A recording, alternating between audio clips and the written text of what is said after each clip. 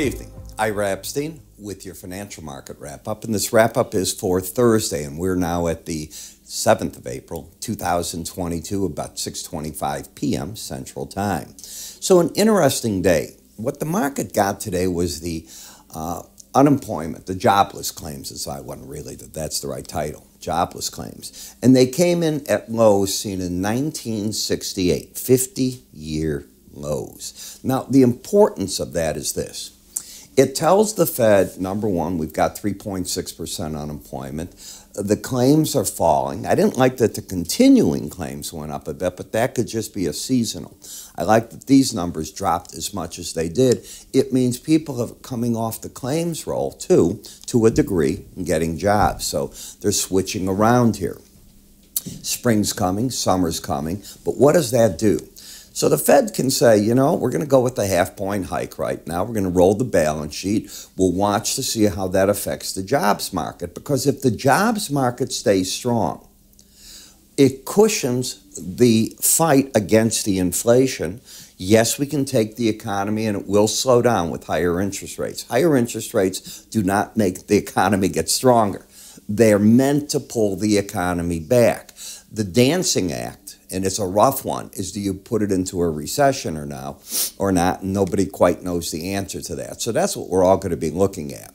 But seeing the jobs this way, the uh, as strong as they are, seeing the unemployment claims at a 50-year low, this is very positive, and the market can withstand that first, if you will, bump up in the S&P, before I get too far, tomorrow's the last day you can see the S&P report. Now, typically, I put up my reports for three business days when I make a video.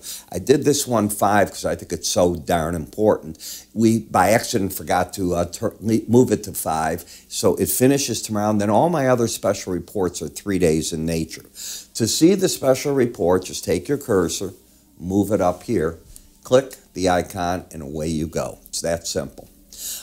This is the battleground, the 18 week moving average of closes, the 450535 level. When we take a look at the S&P bar chart, you have a market that's trying to consolidate prices for a bit. I do not for a second think this market's going to go up and make new all-time highs. But I do think you can get a gain out of the month of April. We've early on had a setback in the market. Uh, you can see how the market is broken back where you're at. The market is down to key moving averages. I was hoping that would happen when I was putting together the report five days ago. So, five days ago, just so you can see, let's count this. Uh, today is Friday. Let's go to Thursday. I won't make you nuts with that. Thursday, Wednesday, that's day two.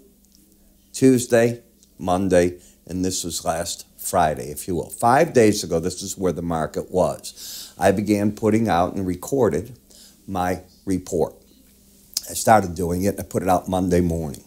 And now the report's looking at this and looking at the pullback, and I'm counting that the market's going to pull back there and try to find its support in these moving averages, and from there, get a bounce. Now, traditionally, that's what happens. The buy date, according to Moore Research, is you buy on the 7th. I think you get out on the 29th of April. In the past, and past history is not a guide of future, but you can look at it and get ideas that you get seasonal strength. In the past, it's worked 15 out of 15 years. That does not mean this won't work this year, and it doesn't mean this won't be the losing year.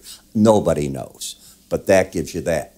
We also have another set of facts out of the past 25 years, the month of April in the S&P specifically has gained in 20 of the 25 years for the month of April. Okay. So I look at those factors, I look at where we're at, I look at the chart pulling back and I go, that's a reasonable look-see type of trade. Why do I think we're not going very far if the market does go up? Because the Bollinger Bands are suddenly wrapping their arms around price. So from here, wherever that Bollinger Band ends up, that would be the target that I'm looking at for this market. You've pulled back away from being embedded. The goal when you're embedded, if you lose it, is to get back to the 18 day average of closes. That's what I teach in my enhanced Bollinger Band course on our website at iraepstein.com under the word education. Go look at it, learn something. So that's the goal. Price generally follows momentum. Momentum leads price. I'd be wrong in this outside day down that maybe the market's then going to take that high out and actually you'd be looking at the new high in the market. Didn't happen. The very next day after losing the reading, goes right to that average, and it has fought the battle since then now for three days. Is there anything on this chart that can suddenly just say, hey, I'm bullish? No. Could the chart resume and fall back to the lower Bollinger Band? It could. I'm just presenting what the what ifs in this market. In the NASDAQ, the one thing I did here over and over is I told you, hey, this is where the pros are coming out of this market. They're not buying up there. They're not saying, hey, we're suddenly going back to these highs. I don't believe that for one second. I know on TV I'm watching the analysts and they keep talking about that, and I'm going, I don't see how. The whole goal of the Fed is to tame the economy down. The last really positive quarter of earnings should be the one that we're getting reported on now. And even more so next week, the bigger boys come out. But you're, you're seeing the reports coming out already. You have certain people like the Warren Buffetts of the world stepping in and on these pullbacks, like they did in Hewlett Packard today, stepping in and buying. He's a value investor. He didn't just buy his first shares in Hewlett Packard. I think he had a lot of shares before. He's got like 12% of the company. He deploys his money when everybody's fearful, and and it goes hand in hand with his ratios coming down where he's looking at price earning ratios and the like. I'm not Warren, he can speak for himself, uh, but that's pretty much what he does. He's a value investor and he holds for the long term. He's not an in and out trader. So, in looking at it, let's assume it keeps going down, just like in the S&P. Maybe you get to the lower Bollinger Band, and on the upside, I think you're going to have a big problem when you re-rally, if you re-rally, back up to the 100-day, the 200, and the upper Bollinger Band. In the mini Dow, battlegrounds developed right in front of your eyes. These two averages against it. So at first, we had the market going up, and I recall I'm watching TV and everybody's talking these highs, and I'm going, and I was here saying, I don't think that's going to happen. I started to doubt myself because you get so many people that I think are bright, smarter than me, and they're going, no, you know, the market's defying gravity. It's on its way. I don't know. My work's not saying that. And away you go here. That doesn't mean we're going to collapse. It just means that I think the market's doing what the other two indices did. And in the Russell, yay, it did its job. It hit the lower Bollinger Band today. And if you're a tech trader and you understand the enhanced Bollinger Band course. This is where the shorts are covering. So I see reason for that some people might deploy money in that market.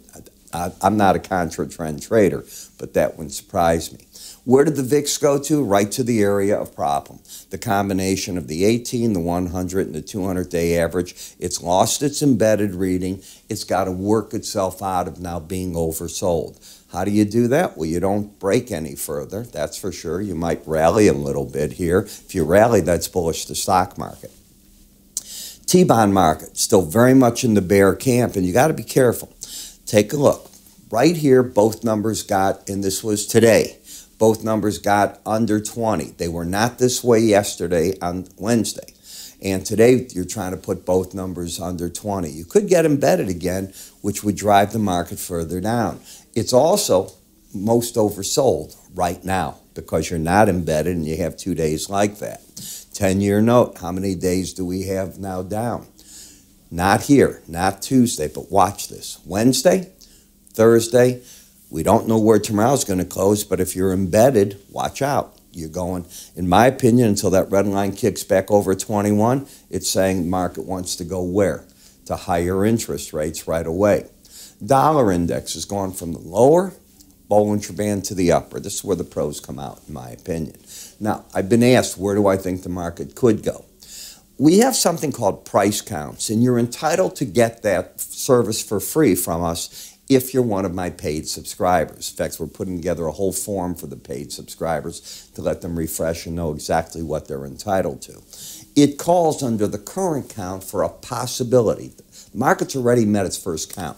It did it right here. That's the easiest count on the move. It sets itself up right down here. Now, if it wants to keep going, 104 is a possibility in this market. We did a special uh, chart of the day today on it, and our traders got a chance to see that.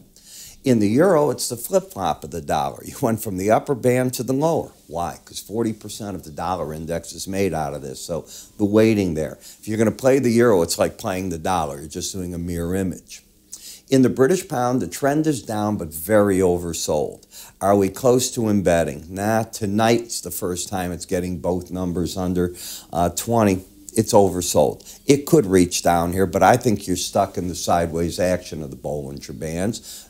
Bitcoin, who was the first guy to tell you this market has a good chance when it's if it loses the embedded reading? This was Friday of last week.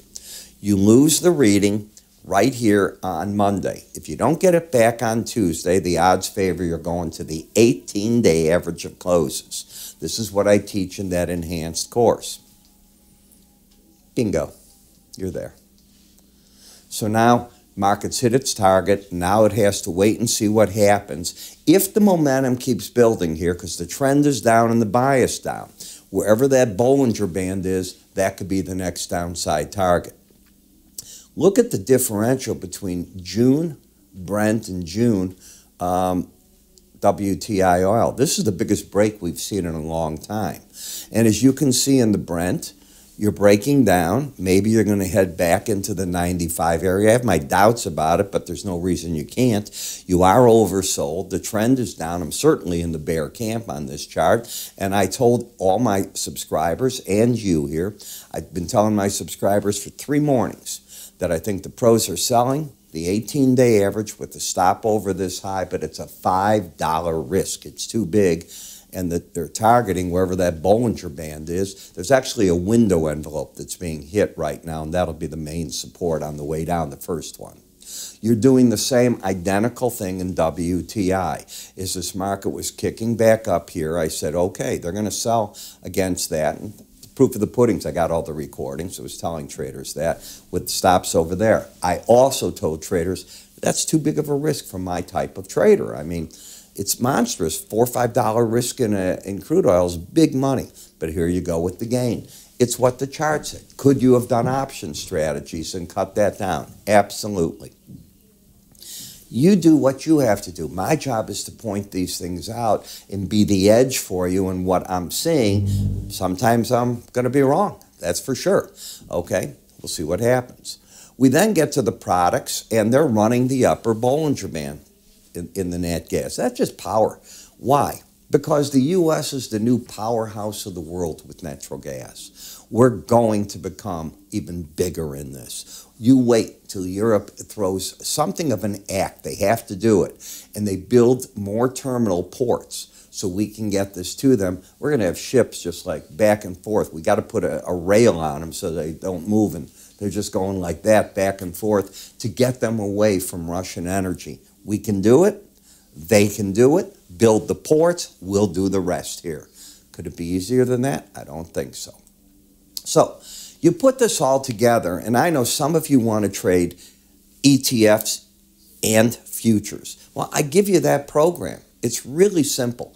I created a combo package of the two. So at 5:30 in the morning, what I do is I come out and I'm looking at what the futures are. I'm going to talk first the fundamentals in the morning. I do that with the first video that you see in every one of them. I'll talk the reports coming out during the day, what's going on in Asia, Europe, what I'm seeing, what reports are due to come out, the expectation for the report, because it's remember it's 5:30 in the morning. They're all about to come out, and then the trade setups that I'm seeing there's going to be 40 charts that I cover there, and I'm going to cover about the same number of charts in the ETF. The difference now in the ETF, it's going to be 9 o'clock in the morning. The reports are typically out, so now I can blend the two for you, and we put it all together.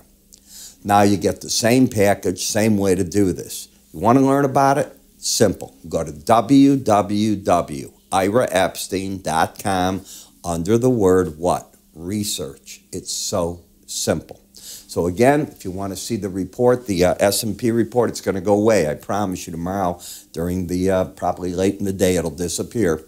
Just click up here. You can watch it. You won't see it again. We don't leave it on the website. Typically, it's three days. I felt this was just such an important event to leave it a little longer. I'm Ira Epstein. You have a good one. See you tomorrow.